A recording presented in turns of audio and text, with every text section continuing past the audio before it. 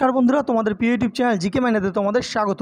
বন্ধুরা প্রত্যেক দিন সন্ধ্যে সাতটার সময় আমরা যে মক টেস্ট সিরিজ তোমাদের সামনে তুলে ধরছি, আজকে আমাদের মক টেস্ট নাম্বার কুড়ি। এখানে কিন্তু আজকে আমরা মক টেস্ট কিন্তু পঁচিশ মার্কসের নেব। কুড়ি মার্কস মিক্সড প্রশ্ন থাকবে এবং পাঁচ মার্কস আমরা যেটা বলেছিলাম যে দু হাজার কুড়ি সালের কিন্তু কারেন্ট অ্যাফেয়ার্সগুলো কিন্তু এই বছর upcoming West Bengal SSC group CD West Bengal police WBCS prelim এবং ওয়েস্ট বেঙ্গল পিএসসি যে কোনো পরীক্ষার জন্য কিন্তু খুবই গুরুত্বপূর্ণ। তাই পাঁচখানা কিন্তু কারেন্ট অ্যাফেয়ার্সও কিন্তু অ্যাড করা হয়েছে। অর্থাৎ টোটাল কিন্তু আজকে পঁচিশ মার্কসের কে মকটা তোমরা দেবে। ঠিক আছে? যারা নতুন দেখছ তাদের বলব যে আমরা এই মকটা নিচ্ছি। প্রথমে আমরা প্রশ্নটা বলছি, চারটে অপশান দিচ্ছি, তোমরা উত্তর দেওয়ার চেষ্টা করো। তারপর আমাদের সঙ্গে উত্তরটা মিলিয়ে নাও এবং কতগুলো ঠিক করলে এবং যেগুলো জানো না সেগুলো অবশ্যই নোট ডাউন করে নাও, ঠিক আছে? এই প্রশ্নগুলো কিন্তু খুবই গুরুত্বপূর্ণ, বিভিন্ন পরীক্ষায় বারবার করে আসে এবং আপকামিং পরীক্ষার জন্য খুবই গুরুত্বপূর্ণ। দেখো, প্রথম প্রশ্ন বলছে, এক নম্বর কি বলছে? বাংলা গদ্যের জনক কাকে বলা হয়? ঈশ্বরগুপ্ত, ঈশ্বরচন্দ্র বিদ্যাসাগর, বঙ্কিমচন্দ্র চট্টোপাধ্যায় না শরৎচন্দ্র চট্টোপাধ্যায়? আশা করি উত্তরটা তোমরা দিয়ে ফেলেছ। উত্তরটা হবে অপশন বি ঈশ্বরচন্দ্র বিদ্যাসাগরকে কিন্তু বাংলা গদ্যের জনক বলা হয়, ঠিক আছে? আমরা একটু, একটুখানি জাস্ট ব্যাখ্যা দেখে নেব। দেখো, বাংলা গদ্যের নির্মাণে ঈশ্বরচন্দ্র বিদ্যাসাগরের বিশিষ্ট ভূমিকা পালন করেন। এজন্য তাকে বাংলা গদ্যের জনক বলা হয়। বিদ্যাসাগরের বিখ্যাত গদ্যগ্রন্থ হলো বেতাল পঞ্চবিংশতি। এই যে, এটাও কিন্তু মনে রাখবে যে বেতাল পঞ্চবিংশতি কার রচনা, ঠিক আছে? এটাও কিন্তু বিভিন্ন পরীক্ষায় দিতে পারে। এখানে আর একটু জেনে রাখো, দেখো, বঙ্কিমচন্দ্র চট্টোপাধ্যায়কে বাংলা উপন্যাসের জনক বলা হয়। উইলিয়াম কেরিকে ছিলেন বাংলা গদ্য পাঠ্যপুস্তকের প্রবর্তক, উইলিয়াম কেরি, ঠিক আছে? এবং বাংলা সাহিত্যের সর্বশ্রেষ্ঠ প্রতিভা রবীন্দ্রনাথ ঠাকুরকে বলা হয় বাংলা ছোট গল্পের জনক। এখানে কিন্তু প্রত্যেক কটা আলাদা আলাদা ইন্ডিভিজুয়াল প্রশ্ন হিসেবে আসতে পারে, ঠিক আছে? নেক্সট দেখে নেব, দু নম্বর প্রশ্ন, রাজতরঙ্গিনী গ্রন্থের রচয়িতাকে কলহেন, অশ্বঘোষ, হর্ষবর্ধন না রবিকীর্তি উত্তরটা কী হবে? উত্তরটা হবে অপশন এ কলহন। দেখো, এই কলহন কিন্তু ইনি একজন কাশ্মীরি ব্রাহ্মণ ছিলেন। ইনি কিন্তু এই রাজতরঙ্গিনী গ্রন্থটা লিখেছেন এবং এই রাজতরঙ্গিনী গ্রন্থ থেকে কিন্তু আমরা কাশ্মীরের ইতিহাস সম্পর্কে জানতে পারি। এই প্রশ্নটাও কিন্তু আসে যে রাজতরঙ্গিনী গ্রন্থ থেকে কোন জায়গার ইতিহাস সম্পর্কে আমরা জানতে পারি, সেটা হচ্ছে কাশ্মীর। ঠিক আছে? তিন নম্বর প্রশ্ন, ডেকান ট্র্যাপ কথাটার অর্থ কী? দাক্ষিণাত্যের সিঁড়ি ঋতু বরফ ঢাকা অঞ্চল না বহুদ্বীপের দেশ? উত্তরটা কী হবে? অপশন এ দাক্ষিণাত্যের সিঁড়ি। ডেকান ট্র্যাপ হচ্ছে, কথার অর্থ হচ্ছে দাক্ষিণাত্যের সিঁড়ি। তোমরা দেখতে পাচ্ছ দেখো যে সিঁড়ির মতো কিন্তু পুরো যে পাহাড়গুলো রয়েছে, ঠিক আছে? এটাকে বলা হয় ডেকান ট্র্যাপ নেক্সট, চার নম্বর দেখে নেব যে ক্যালামাইন কোন মৌলের আকরিক? ক্যালসিয়াম, ম্যাগনেসিয়াম, অ্যালুমিনিয়াম না জিঙ্ক? খুবই গুরুত্বপূর্ণ প্রশ্ন, উত্তরটা কী হবে? উত্তর হবে অপশন ডি। জিঙ্ক বা জেডেন, অনেক সময় এরম থাকতে পারে জেডেন। তো এটা হচ্ছে ক্যালামাইন মৌলের আকরিক, ঠিক আছে? পাঁচ নম্বর প্রশ্ন, মামা ভাগ্নে পাহাড় কোথায় অবস্থিত? এটা কিন্তু বহু পরীক্ষা এসছে এই প্রশ্নটা। পশ্চিমবঙ্গের কোন জেলায় অবস্থিত? বাঁকুড়া, পুরুলিয়া, বীরভূম না দার্জিলিং? উত্তরটা কী হবে? উত্তরটা হবে অপশন সি। বীরভূম জেলায় কিন্তু দুবরাজপুরে এই মামা ভাগ্নে পাহাড় অবস্থিত। ছ নম্বর প্রশ্ন, ডুরান্ড কাপ কোন খেলার সঙ্গে যুক্ত? ক্রিকেট, ফুটবল, হকি না টেনিস? উত্তরটা কী হবে? উত্তরটা হবে অপশন বি। ফুটবল খেলার সঙ্গে কিন্তু ডুরান্ড কাপ যুক্ত এবং ভারতবর্ষের সব সবথেকে ওল্ডেস্ট বা প্রাচীনতম লিগ কিন্তু এই ডুরান্ড কাপকে বলা হয়, ঠিক আছে? এটা আঠারোশো অষ্টআশি সালে হয়েছিল। নেক্সট আপেলের রাজ্য কোন, কাকে বলা হয়? খুবই গুরুত্বপূর্ণ প্রশ্ন। উত্তরপ্রদেশ হিমাচল প্রদেশ, বিহার না পশ্চিমবঙ্গ? উত্তরটা কী হবে? অপশন বি হিমাচল প্রদেশকে কিন্তু আপেলের রাজ্য বলা হয়, কারণ এখানে প্রচুর পরিমাণে আপেল উৎপন্ন হয়, ঠিক আছে? হিমাচল প্রদেশ ছাড়াও কিন্তু কাশ্মীরেও কিন্তু আপেল পাওয়া যায়, ঠিক আছে? আট নম্বর প্রশ্ন ওয়াইল্ড ওয়াইড ওয়েব এর আবিষ্কারক কে? Johannes Kepler, George Stephenson, Robert Oppenheimer না টিম বার্নাস?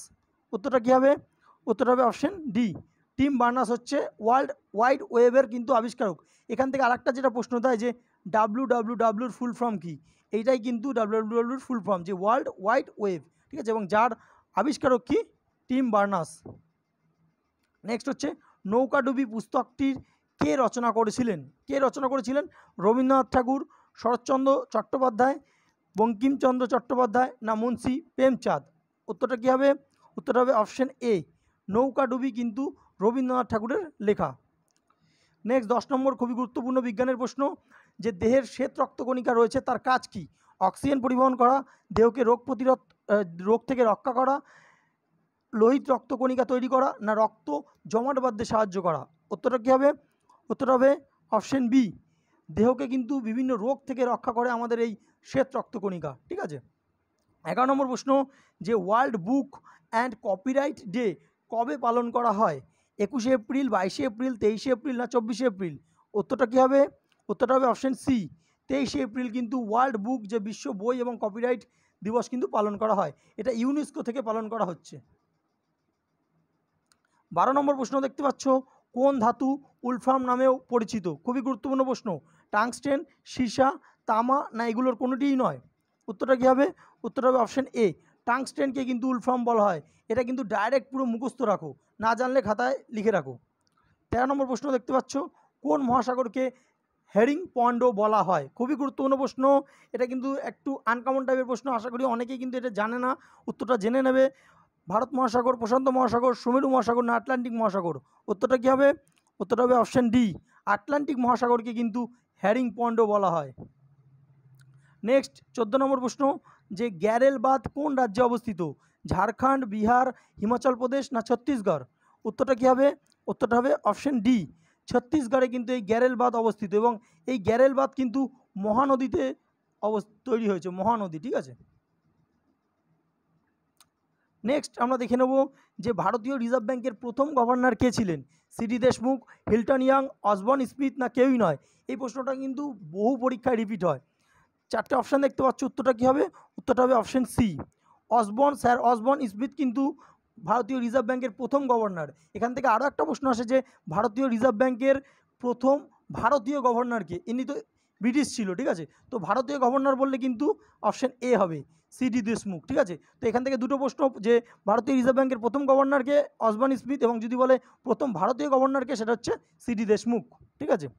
ষোলো নম্বর প্রশ্ন, খুবই গুরুত্বপূর্ণ, নুন, মাটি, তৈল, শোধনাগার কোথায় অবস্থিত? আসাম, অপশান বি হচ্ছে Maharashtra, option C Gujarat, option D Orissa, উত্তরটা কী হবে? অপশান এ, আসামে কিন্তু এই নুন, মাটি, তৈল, শোধনাগার অবস্থিত, আসামে কিন্তু অনেকগুলো কিন্তু বেশ কয়েকটা তৈল শোধনাগার কিন্তু রয়েছে। নেক্সট দেখতে পাচ্ছ, জীবন স্মৃতি কার আত্মজীবনী? শরৎচন্দ্র চট্টোপাধ্যায়, রবীন্দ্রনাথ ঠাকুর, মান্না দে না বিমল মিত্র? উত্তরটা কী হবে? উত্তরটা হবে অপশন বি রবীন্দ্রনাথ ঠাকুরের কিন্তু জীবন স্মৃতি আত্মজীবনী। এখানে কিন্তু রবীন্দ্রনাথ ঠাকুর নিজের যে ভাইয়ের সম্পর্কে বিস্তারিত আলোচনা করেছেন এবং নিজের যে ছোটোবেলার ঘটনাও কিন্তু তুলে ধরেছেন। আঠারো নম্বর প্রশ্ন, যে বৌদ্ধ ধর্মে কয়টি ত্রিপিটক আছে? দুটি, তিনটি, চারটি না পাঁচটি? উত্তরটা কী হবে? উত্তরটা হবে অপশন বি তিনখানা যে ত্রিপিটক আমরা জানি রয়েছে, কি কি? সূত্রপিটক বিনয় পিটক আর বিনয়ক বিনয়ক পিটক আর হচ্ছে অভিধর্ম পিটক ঠিক আছে? ন, উনিশ নম্বর দেখতে পাচ্ছ, পান্না, হীরক, খনি কোথায় অবস্থিত? উত্তরপ্রদেশ, হরিয়ানা, পাঞ্জাব না মধ্যপ্রদেশ? এখানে কিন্তু প্রচুর পরিমাণে হিরে উত্তোলন হয় ভারতবর্ষে। তো এটা কোন রাজ্যে অবস্থিত? উত্তরটা কী হবে? উত্তরটা হবে অপশান ডি মধ্যপ্রদেশে কিন্তু এই পান্না হীরক খনি অবস্থিত, ঠিক আছে? পান্না কিন্তু একটা ন্যাশনাল পার্কও রয়েছে। কুড়ি নম্বর প্রশ্ন, পশ্চিমবঙ্গ থেকে ভারতরত্ন পুরস্কার প্রথম কে পান? খুবই গুরুত্বপূর্ণ প্রশ্ন এটা এবং আনকমনও বিধানচন্দ্র রায়, রবীন্দ্রনাথ ঠাকুর, শরৎচন্দ্র চট্টোপাধ্যায় না সত্যজিৎ রায়? উত্তরটা কী হবে? উত্তর হবে অপশান এ বিধানচন্দ্র রায় কিন্তু পশ্চিমবঙ্গ থেকে প্রথম ভারতরত্ন পুরস্কারে ভূষিত হন। এইবার আমরা কিন্তু পাঁচখানা দু হাজার কুড়ি সালের গুরুত্বপূর্ণ কারেন্ট অ্যাফেয়ার্স তুলে ধরেছি। দেখো, প্রথম প্রশ্ন কি বলছে? স্বচ্ছতার নিরিখে দু হাজার কুড়ি সালে রাজ্যের, অর্থাৎ পশ্চিমবঙ্গের সেরা হাসপাতাল কোনটি? কলকাতা মেডিকেল কলেজ হাসপাতাল, অপশন বি হচ্ছে শিলিগুড়ি জেলা হাসপাতাল, অপশন সি বারাসাত জেলা হাসপাতাল, না অপশন ডি নীলরতন সরকার হাসপাতাল। উত্তরটা কী হবে? উত্তরটা হবে অপশন বি। শিলিগুড়ি জেলা হাসপাতাল কিন্তু স্বচ্ছতা নিরিখে দু হাজার কুড়িতে সেরা হাসপাতালের তকমা পেয়েছে। নেক্সট বাইশ নম্বর প্রশ্ন, যে মাঝিরাট ব্রিজ, তোমরা জানো যে মাঝিরহাট ব্রিজ যে তৈরি হলো, সেই মাঝিরাট ব্রিজের নতুন নাম কি? বন্দে মাতরম সেতু, জয় বাংলা সেতু, জয় হিন্দ সেতু না ভারত মাতা সেতু? উত্তরটা কী হবে? উত্তরটা হবে অপশন সি, জয় হিন্দ সেতু। দেখো, মাঝিরহাট ব্রিজের নতুন নামকরণ করলেন মমতা ব্যানার্জি এবং তিনি কিন্তু এই ব্রিজের নাম রাখলেন জয় হিন্দ সেতু। নেতাজি সুভাষচন্দ্র বোসের জন্মবার্ষিকীতে কিন্তু এই নামকরণটি তিনি করেছেন। তেইশ নম্বর প্রশ্ন, যে ভিন রাজ্যে লকডাউনে আটকে পড়া পরিযায়ী শ্রমিকদের জন্য কোন প্রকল্প চালু করলেন মুখ্যমন্ত্রী মমতা বন্দ্যোপাধ্যায়? তোমরা জানো দু হাজার কুড়ি সালে যখন লকডাউন হয়েছিল, তখন কিন্তু পশ্চিমবঙ্গের যে বিভিন্ন পরিযায়ী শ্রমিক, যারা বিভিন্ন রাজ্যে কর্মসূত্রে থাকে, তারা কিন্তু আটকে গিয়েছিল এবং তাদের জন্য কিন্তু মুখ্যমন্ত্রী মমতা বন্দ্যোপাধ্যায় কিন্তু এই প্রকল্পের আওতায় যে পরিযায়ী শ্রমিকদের রাজ্যে এককালীন হাজার টাকা করে প্রদান করেছিলেন, ঠিক আছে? এবং এটা কোন প্রকল্প? চারটে অপশান দেখতে পাচ্ছ, পরিযায়ী বন্ধু, স্নেহের আলো, স্নেহের পরশ না জীবন মূল্য? উত্তরটা কী হবে? উত্তরটা হবে অপশান সি স্নেহের পরশ। খুবই গুরুত্বপূর্ণ প্রকল্প, ঠিক আছে? চব্বিশ নম্বর প্রশ্ন দেখতে পাচ্ছ, নমস্তে ওরচা এই যে নমস্তে ওরচা এটা উৎসবটা পালন করা হয় কোন জায়গায়, ঠিক আছে? এখানে চারটে অপশান তোমরা দেখতে পাচ্ছ, অরুণাচল প্রদেশ তারপর রয়েছে মধ্যপ্রদেশ, কেরল না পশ্চিমবঙ্গ? উত্তরটা কী হবে? উত্তরটা হচ্ছে অপশন বি। মধ্যপ্রদেশে কিন্তু এই ওরচা উৎসব পালন করা হয় এবং এই ওরচা সিটিটা জায়গাটা কিন্তু যে তকমা পেয়েছে ইউনেস্কোর, ঠিক আছে? পঁচিশ নম্বর প্রশ্ন দেখতে পাচ্ছ। দু কুড়ি সালে কলকাতা আন্তর্জাতিক বইমেলা হলো।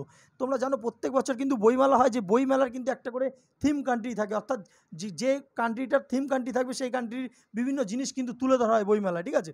তো সেই থিম কান্ট্রি দু কুড়ি সালে কলকাতা যে আন্তর্জাতিক বইমেলা ছিল, চুয়াল্লিশতম, সেই চুয়াল্লিশতম বইমেলার থিম কী ছিল? কোন কান্ট্রি ছিল? পেরু, আমেরিকা, রাশিয়া না চীন? উত্তরটা কী হবে? উত্তরটা হবে অপশন সি রাশিয়া কিন্তু দু হাজার কুড়ির যে আন্তর্জাতিক বইমেলা হলো, যেটা সল্টলেকের সেন্ট্রাল পার্কে হয়েছে, তার থিম কান্ট্রি কিন্তু রাশিয়া ছিল। আচ্ছা পঁচিশে কত পেলে সেটা তো বলবেই, এবং তোমাদের জন্য হোমওয়ার্ক যে প্রশ্ন আজকে, প্রথম প্রশ্ন দেখতে পাচ্ছ, পশ্চিমবঙ্গের কোন জেলায় শুশুনিয়া পাহাড় দেখা যায়? খুবই গুরুত্বপূর্ণ প্রশ্ন। দু নম্বর, বিধানচন্দ্র রায়ের জন্মদিনে কী দিবস পালন করা হয়? এবং বিধানচন্দ্র রায়ের জন্মদিন কিন্তু ফার্স্ট জুলাই আমরা আগের দিন কিন্তু এটা আলোচনা করেছিলাম। এই দুটো প্রশ্নের উত্তর যারা জানো, অবশ্যই কমেন্ট সেকশনে কমেন্ট করো। এবং যারা নতুন দেখছ ভিডিওটা, বলব প্রত্যেক দিন সন্ধ্যে সাতটার সময় আমাদের এই মক টেস্ট তোমরা আমাদের চ্যানেলে কিন্তু পেয়ে যাবে।